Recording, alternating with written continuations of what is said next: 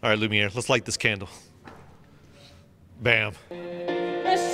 Mademoiselle, it is with deepest pride and greatest pleasure that we welcome you here tonight. And now, we invite you to relax. Let us pull up a chair as the dining room proudly presents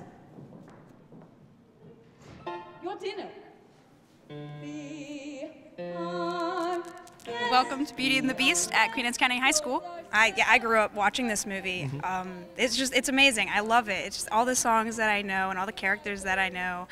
Um, and it's here at our high school, and that's just awesome. And I love it so much. I feel like there's a lot of pressure to be like they know what we're supposed to be, Right. so we have to be that. Otherwise, they're going to be sa- not satisfied. But So do we you, do you make get to put like your own little spin on it though? Oh, 100%. Hundred- Okay, Yeah. good, good.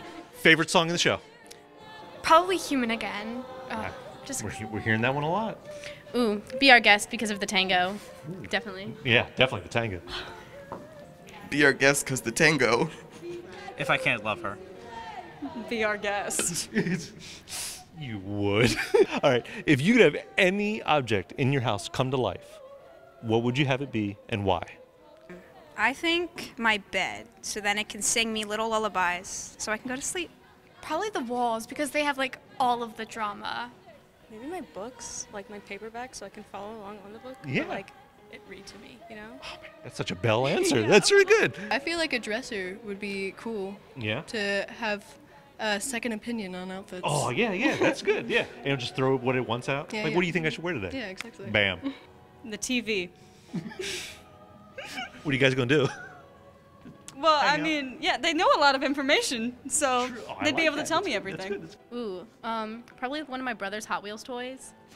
That'd be really funny. My keyboard. Oh.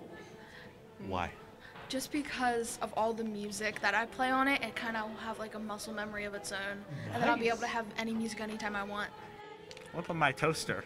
That's he. He, he seems like a. He seems like uh, something, someone fun to hang out with. Have you ever seen the movie A Brave Little Toaster? That's a movie. Ah, I'm old. um, my fridge, so it can walk to me when I'm hungry and I don't have to get up. My coffee maker. What would you do together? I don't know. Um, my bed. So it could just go around with you or something? Yeah, I, I can stay in bed and I'd still be able to go places. I think it'll be a chair. So wherever I go, the chair follows me, and whenever I want to sit down, it's always there behind me. And now you can come grab a chair and watch. Yes. Be our guest, please. Yes. and you get to see Gaston. Oh my gosh! All right, just cut. You- they just had to do that, right? So you both have to deal with this. Oh, every day. I'm sorry. Uh-huh. I'm sorry.